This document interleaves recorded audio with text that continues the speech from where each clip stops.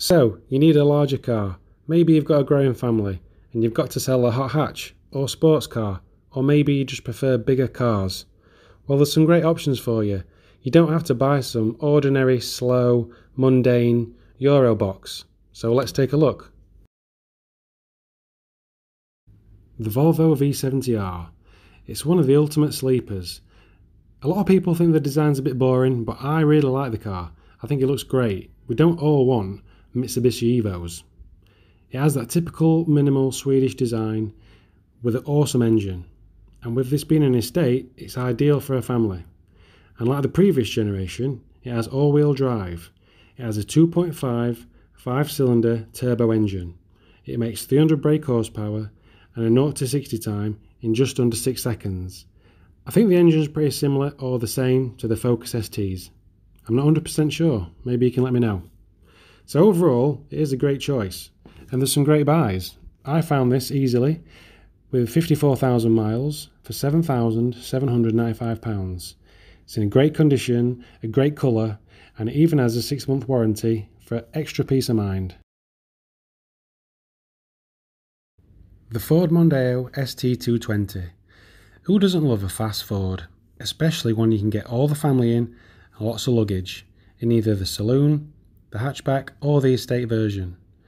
Now, the Mondeo has the reliable 3 litre V6 engine.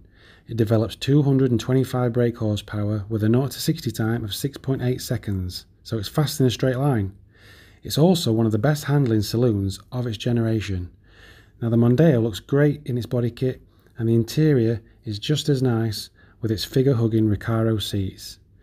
Now there's still quite a few high mileage rough examples around, but there is the odd diamond in the rough, like this 2006 model I found. It's only done 57,000 miles, it's just under £5,000 and it looks great in black, but for me, I'd want one in performance blue. The Jaguar S-Type R. Jaguar, in this last 10 years, has massively changed its image and the look of its cars. And it's all for the best. I do like the new Jag styling, I think they made the right choice. But there's definitely something about the older, traditional styling that lots of us still love. The S-Type is the last of that style, and it has a lot of Mark II Jag styling cues. This big cat has a 4.2 litre supercharged engine with 400 brake horsepower and 0 to 60 in 5.3 seconds, so it's quick. The interior is well refined, there's space for all the family, and when you want to get excited, just put your foot down. Now having a 400 brake horsepower car means economy isn't great, but it's definitely a price worth paying for. I found this 2005 model with 86,000 miles, which is pretty decent for its age, and it's the facelift version, for £5,495. And if you are on a tighter budget, high mileage examples are a bit cheaper. The Vauxhall Vectra VXR.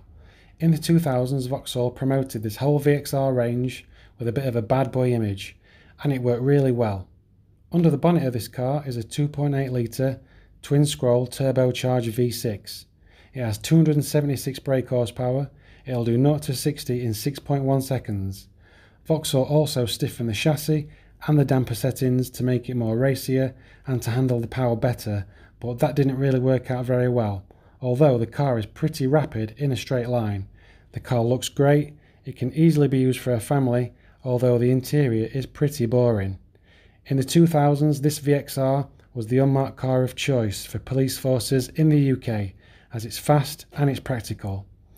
Now, you can buy high mileage versions of this car for as little as £2,000, but I found this 2009 VXR with only 44,000 miles for £7,000. The car is pretty mint, but that is getting quite close to Insignia VXR money. The Subaru Impreza WRX STI, made between 2000 and 2007. Now during this time there were three versions available in saloon or estate, or more commonly known by their nicknames due to the change in headlight design, the Bug Eye, the Blob Eye, and the more flatteringly named Hawkeye.